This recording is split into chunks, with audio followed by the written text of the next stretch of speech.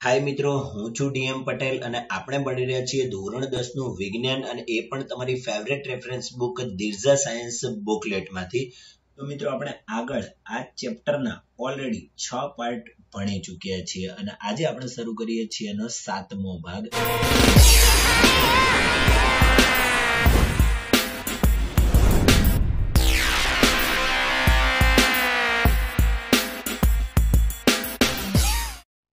તો આપણે આગળના છઠ્ઠા પાર્ટની અંદર શું શીખી ગયા છીએ? શ્વસન. અને શ્વસનના બે પ્રકાર, જારક શ્વસન, અજારક શ્વસન, અને એના દ્વારા જે ગ્લુકોઝના વિઘટનના પરિપથો છે, એનો અભ્યાસ કર્યો અને લાસ્ટમાં આપણે એનો તફાવત શીખી ગયા લાસ્ટ વિડીયોમાં. આજે આપણે શીખવા જઈ રહ્યા છીએ એના પછીનો ક્વેશ્ચન્સ અને એ છે એટીપી વિશે મુદ્દાઓ લખો. આ એટીપી શું છે?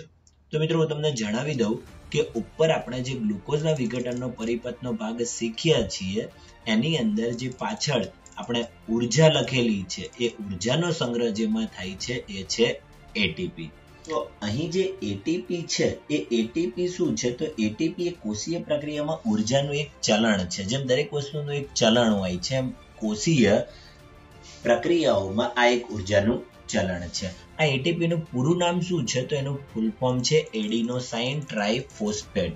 અહીંયા નીચે આ રીતે એને લખવામાં આવે છે કે એટીપીનું પૂરું નામ એડિનોસાઇન ટ્રાઇફોસ્ફેટ છે. હવે જ્યારે શ્વસન દરમિયાન મુક્ત થતી ઊર્જા છે એ એડીપી કહેવાય જેનું ફૂલ ફોર્મ છે એડિનોસાઇન ટ્રાઇફોસ્ફેટ. એના અકાર્બનિક ફોસ્ફેટમાંથી એટીપી બને છે. તો આપણે આ રીતે લખીએ છીએ કે શ્વસન દરમિયાન મુક્ત થતી ઊર્જા એ એડીપી અને પી માંથી એટીપી બનાવે. જો આપણે એનું સૂત્ર લખવું હોય તો કેમ લખાય? આ રીતે લખી શકાય કે એડીપી પ્લસ પી અહીં જે પી દર્શાવેલો છે એ શું છે? તો મિત્રો, એ તમને જણાવી દઉં. એને અકાર્બનિક ફોસ્ફેટ કહી શકાય. અકાર્બનિક ફોસ્ફેટ હોય છે, તેને આપણે શેના વડે દર્શાવીએ છીએ? પી વડે દર્શાવીએ છીએ. તો અહીં આ રીતે લખાશે એડીપી પ્લસ પી અહીં જે ઊર્જા છે એ એટીપી બને છે, જેનું ફૂલ ફોર્મ ઉપર આપણે જોયું શું છે એડિનોસાઇન ટ્રાઇફોસ્ફેટ સાથે મિત્રો આ એટીપી નો ઉપયોગ ક્યાં થાય છે? તો આપણે અહીં લખી શકીએ કે એટીપી નો ઉપયોગ પ્રક્રિયા દર્શાવવા માટે થાય છે. પ્રક્રિયાઓ કઈ કઈ? તો જેમ કે પ્રોટીન સંશ્લેષણ છે, વનસ્પતિમાં કે પ્રાણીઓમાં ઉર્મી વેગનું વહન છે, પ્રચલન છે, આ બધી પ્રક્રિયાઓ છે. તો એટીપીનો ઉપયોગ પ્રક્રિયા દર્શાવવા માટે થાય છે. જ્યારે પાણીના અણુનો ઉપયોગ કરી એટીપીમાં અંતિમ ફોસ્ફેટ જે બંધ તૂટે અને એ દરમિયાન એમાં કેટલી ઊર્જા મુક્ત થાય છે, તો આપણે અહીં લખી શકીએ એમાંથી ત્રીસ પોઈન્ટ પાંચ કિલો જૂલ પ્રતિ મોલ સમકક્ષ જેટલી ઊર્જા મુક્ત થાય છે. તો ચાલો આપણે જવાબનું એકવાર રિવાઇઝ કરી લઈએ. પ્રથમ એટીપીનું પૂરું નામ શું છે? તો એડિનોસાઇન ટ્રાઇફોસ્ફેટ. આગળ શ્વસન દરમિયાન મુક્ત થતી ઊર્જા કયા સ્વરૂપે? એડીપી અને સાથે શું અકાર્બનિક ફોસ્ફેટ એટલે કે પી એમાંથી શું બનાવે છે? એટીપી તો આપણે એનું સૂત્ર આ રીતે લખ્યું છે. એડીપી પ્લસ પી એમાંથી ઊર્જા બને છે છે એટીપી એટીપી નો ઉપયોગ ક્યાં થાય છે? તો પ્રક્રિયાઓ દર્શાવવા કઈ ગઈ? આપણે ઉદાહરણ ભૂલી ગયા, જેમ કે પ્રોટીન સંશ્લેષણ ઉર્મિ વેગનું વહન, હલનચલન, પ્રચલન વગેરે. અને એમાંથી જ્યારે એનો બંધ તૂટે ત્યારે કેટલી ઊર્જા મુક્ત થાય છે? તો ત્રીસ પોઈન્ટ પાંચ કિલો જૂલ પ્રતિ મોલ જેટલી સમકક્ષ ઊર્જા મુક્ત થાય છે. નેક્સ્ટ એના પછીનો જે ક્વેશ્ચન છે, જે વનસ્પતિઓમાં વાયુનો વિનિમય. હવે આપણી પાસે તો શ્વાસ લેવા માટે નાક છે, તો નાક દ્વારા વાયુનો વિનિમય થતો હોય છે, પરંતુ વનસ્પતિ પાસે નાકની વ્યવસ્થા હોતી નથી. તો પછી વનસ્પતિના વાયુનો વિનિમય કેવી રીતે થતો હશે? ચાલો આપણે એને સમજીએ. પ્રથમ વસ્તુ તો વનસ્પતિમાં વાયુના વિનિમય માટે કેટલાક રંધ્રો આવેલા હોય છે, જેને આપણે વાયુ રંધ્રો કહીએ છીએ. તો આને આ રીતે લખી શકાય કે વનસ્પતિમાં વાયુનો વિનિમય રંધ્રો દ્વારા થાય છે. આપણે કૌંસમાં લખેલું છે વાયુ રંધ્રો દ્વારા. પરંતુ મિત્રો, તમને જણાવી દઉં, જો પર્ણ હોય તો એમાં પર્ણ રંધ્રો હોય, પ્રકાંડ હોય તો એમાં વાયુ રંધ્રો હોય અને મૂળ હોય તો એમાં મૂળ રંધ્રો હોય. ટૂંકમાં વનસ્પતિમાં વાયુનો વિનિમય રંધ્રો દ્વારા થાય છે. અને આપણને એ પણ ખબર છે કે વનસ્પતિ શ્વાસમાં કાર્બન ડાયોક્સાઇડ લે છે અને ઓક્સિજન દૂર કરે છે. તો એ જે ક્રિયા થાય છે ને પ્રસરણ કહે છે. તો આપણે આ રીતે લખી શકીએ કે વાયુ રંધ્રો દ્વારા પ્રસરણની ક્રિયાથી વાયુનો વિનિમય થાય છે. પ્રસરણ એટલે ફેલાવવું સાથે સાથે આગળ વધીએ કે વનસ્પતિ જ્યારે રાત્રિ દરમિયાન એટલે કે અંધારામાં જ્યારે પ્રકાશ સંશ્લેષણ ના થાય માટે એ સમયે વનસ્પતિ ઓક્સિજન અંદર લે છે, જ્યારે CO2 બહાર કાઢે છે. એટલે આપણી જેમ જ, તો એ ક્રિયા ક્યારે થાય માત્ર? રાત્રિ દરમિયાન. કેમ? કારણ કે રાત્રે પ્રકાશ સંશ્લેષણ થતું નથી. અને આ ક્રિયાને શું કહે છે? તો એને CO2 દૂર થવાની ક્રિયા કહે છે. આગળ વધીએ કે જો દિવસ દરમિયાન જ્યારે પ્રકાશ સંશ્લેષણ થતું હોય ત્યારે એ શું કરે છે? એ કાર્બન ડાયોક્સાઇડ અંદર લે છે અને ઓક્સિજન બહાર કાઢે છે. આ ક્રિયાને શું કહે છે? તો એને ઓક્સિજન દૂર થવાની ક્રિયા પણ કહે છે. સાથે ઘણી વનસ્પતિ એવી પણ છે કે જે રાત્રિ દરમિયાન પ્રકાશ સંશ્લેષણ ન થતું હોય, છતાં પણ એ અંદર CO2 ગ્રહણ કરે છે અને ઓટું બહાર કાઢે છે. એવા પણ ઘણા ઉદાહરણ છે. ચાલો આપણે જવાબને બુકમાં આપ્યો છે એ પ્રમાણે અંદર જોઈએ. પ્રથમ વનસ્પતિમાં વાયુનો વિનિમય રંધ્રો દ્વારા થાય છે. આ રંધ્રો દ્વારા જ કાર્બન ડાયોક્સાઇડ અંદર પ્રવેશે છે, ઓક્સિજન બહાર નીકળે છે અને પ્રસરણ કહે છે. પ્રસરણની ક્રિયાથી વાયુનો વિનિમય થાય છે. રાત્રિ દરમિયાન જ્યારે પ્રકાશ સંશ્લેષણ ન થાય ત્યારે વનસ્પતિમાં O2 અંદર પ્રવેશે છે CO2 બહાર આવે છે તો આને CO2 દૂર થવાની ક્રિયા કહી શકાય. સાથે દિવસ દરમિયાન જ્યારે પ્રકાશ સંશ્લેષણ થતું હોય ત્યારે CO2 અંદર પ્રવેશે છે અને O2 બહાર આવે છે આમ અને O2 દૂર થવાની ક્રિયા પણ કહી શકાય. નેક્સ્ટ ત્યાર પછીનો જે ટોપિક છે એ છે શ્વસન વિશેનો. તો આપણને ટેક્સ્ટ બુકમાં શ્વસનને લગતી એક પ્રવૃત્તિ આપી છે, જેને આપણે થોડી સમજી લઈએ. જેમ કે અહીં આપણને ઉદાહરણ આપ્યું છે માછલીનું કે માછલી કયા અંગ વડે શ્વસન કરે છે? તો આપણે નાના ધોરણમાં શીખીને આવેલા છીએ કે માછલી છે એ ઝાલરો વડે શ્વસન કરે છે.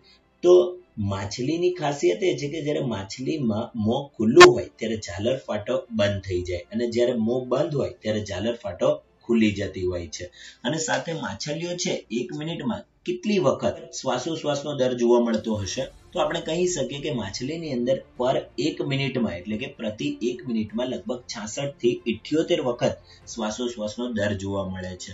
તો શું મનુષ્યમાં પણ આટલો હોતો હશે? બિલકુલ નહીં.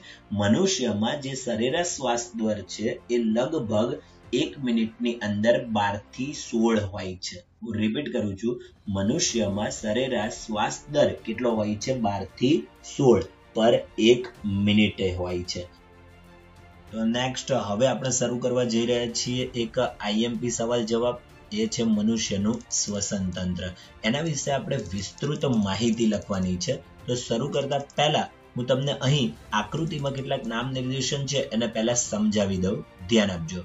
સૌપ્રથમ અહીં જે દર્શાવેલું છે, એ છે નાસિકા કોટાર અંદર તરફ છે, એ છે મુખ ગુહા. ત્યાંથી શ્વાસ ક્યાં જાય છે? કંઠનળી. કંઠનળીની નીચે હોય છે સ્વરયંત્ર.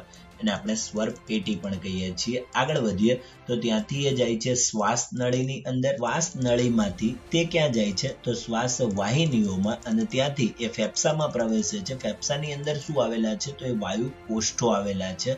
આ વાયુ કોષ્ઠો આ એની રચના આપણને વધારે ડિટેલમાં આ તરફ આપી છે. એ વાયુ કોષ્ઠોની અંદર વાયુનો વિનિમય થાય છે એટલે કે એની અંદર જ આપણે જે શ્વાસમાં ઓક્સિજન લઈએ છીએ, ત્યાં ઉતરી જાય છે અને કાર્બન ડાયોક્સાઇડ છે એના પર બેસી પણ જાય છે, તો વાયુનો વિનિમય કહેવાય, જે માત્ર ને માત્ર ક્યાં થાય છે? વાયુ કોષ્ઠોમાં થાય છે. તો ચાલો આપણે એની થિયરી સમજવાનો પ્રયત્ન કરીએ. પ્રથમ, અહીં જે કોઈ પણ મનુષ્ય હોય છે એ પોતે શ્વાસ લે છે, એટલે કે જ્યારે હવાને અંદર દાખલ કરે છે, ત્યારે એ હવા શેના દ્વારા દાખલ થાય છે? નસકોરા. એટલે કે આપણું જે નાકનું બહારનું છિદ્ર છે ને આપણે શું કહીએ છીએ? નસકોરા. તો આપણે પ્રથમ લાઈન લખીશું આ રીતે કે મનુષ્યમાં નસકોરા દ્વારા હવા શરીરની અંદર દાખલ થાય છે. આગળ વધીએ. નસકોરાની અંદર કઈ વસ્તુ આવેલી છે? તો નસકોરાની અંદર બે વસ્તુ આવેલી છે. પહેલું છે એના માર્ગમાં નાના નાના રોમ રોમ એટલે વાળ જેવી રચના. અને બીજું ચિકાશવાળી ગ્રંથિ, જેને આપણે શું કહીએ છીએ? શ્લેષ્મ કહીએ છીએ. તો એના માર્ગમાં નાના રોમ એટલે કે વાળ જેવી રચના અને બીજું આવેલું છે શ્લેષ્મ. આગળ વધીએ. આ બંને શું કામ હોય છે? તો એનું કારણ છે કે એના દ્વારા હવા અને કેટલીક અશુદ્ધિઓ જેની અંદર ગળાઈ જાય છે. એટલે કે કચરો અંદર દાખલ થઈ શકતો નથી.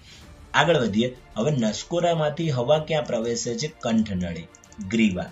તો અહીં જોઈએ કે કંઠનળી છે એ કેવી રચના છે? પહેલી વસ્તુ, એ હવાનો માર્ગ બંધ ન થાય એ માટે કંઠનળીની અંદર કાસ્થિમય રચના આવેલી છે. તમે નાના ધોરણમાં આનો ટોપિક શીખીને આવેલા છો કે આપણા શરીરની અંદર કાસ્થિ અને અસ્થિ એવા બે હાડકા હોય છે. તો આ કંઠનળીમાં કાસ્થિ જેવી રચના હોય છે. હવે એ હવા છે એ હવા કંઠનળી મારફતે અહીંયા જોઈએ તો ક્યાં જાય છે?